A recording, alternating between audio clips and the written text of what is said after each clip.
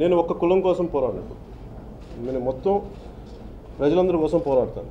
నేను వచ్చిన విధానమే కులాన్ని నుంచి అయితే నేను రాలేదు. నేను వచ్చిందల్లా నేను నేను బే బేసిక్ నేషనల్ ఇంటిగ్రిటీ కోసం ఆలోచించే వ్యక్తిని.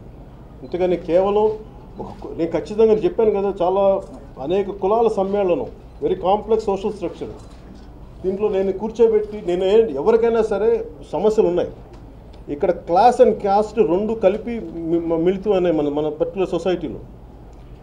చెప్ నాకేనండి ఇక్కడ ఖచ్చితంగా వాళ్ళకి ఇంతమంది వ్యక్తులు ఒక సమూహం కలిసి కాపులు కావచ్చు రేపు ఇంకో కులం కావచ్చు ఎవరైనా కావచ్చు వాళ్ళు గొంతెత్తి మాకు ఇలా అన్యాయం జరుగుతుంది అని అంటున్నప్పుడు ఖచ్చితంగా దానిపైన దృష్టి సారించాల్సి ఉంది. అంతేగాని నేను దాన్ని కూర్చోబెట్టి నేను నేను ఎందుకు ఆ క్షణంలో నేను మీరు మాట్లాడితే ఆ రోజున నేను తీసుకున్న political agenda it is not just for one caste it is for the entire Indian integrity base మీద నేను పాలిటిక్స్లోకి వచ్చాను. Not just for one caste so నేను తీసుకుంది ఒక బ్రాడ్ ఎజెండాగా నేను తీసుకున్నాను కానీ కన్ఫైన్డ్గా ఒక కాస్ట్ మీద నేను తీసుకున్నాను.